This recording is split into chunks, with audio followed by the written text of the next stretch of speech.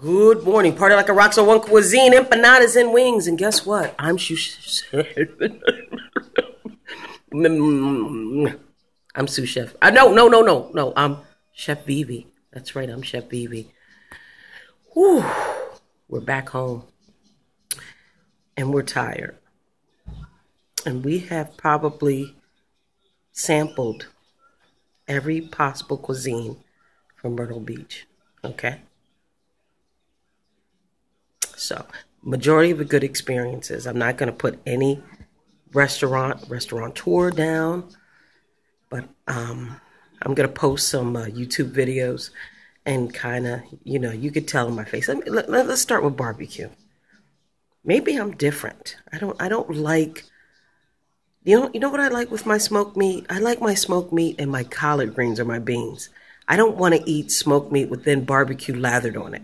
Like when it comes to barbecue, I marinate my meat for like days and then I put it on the grill and then I do a off heat grilling and I slowly baste them with barbecue sauce.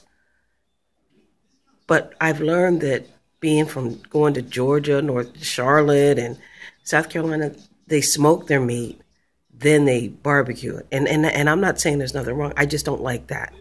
I don't like that taste. It's like eating like a ham hock with barbecue sauce on it or something. Anyways, um, fried pickles, delish. Didn't think I'd like it. Fried corn on the cob, delish. Didn't think I'd like it. Um, some great restaurants down at the, and let me tell you about Myrtle Beach. It's broken down in three sections. You got the Central Myr- Myrtle Beach, then Myrtle Beach and North Myrtle Beach. If you're going to stay with a group of friends like condos and townhouse, go towards the North Myrtle Beach side, you know, right near Ocean, you know. Uh, if you're there with a bunch of college friends and you know a bachelorette party, Central Central Myrtle Beach, get it popping, right near the the Ferris wheel. Um, if you're here with your family and you have children, stay at the board off the boardwalk. That's further up, like off the 21st Avenue. That's where all the fun things. It's almost like being like Disney World. You're going to have the aquarium, the wax museum uh, helicopter rides. Uh, oh my goodness, it was off the chain. Miniature. You're going to have so much to do with your children. You could actually spend a week there, um, and you could stay right there at the hotel. You literally could walk, but you don't want to do that because the heat is unforgiving. What?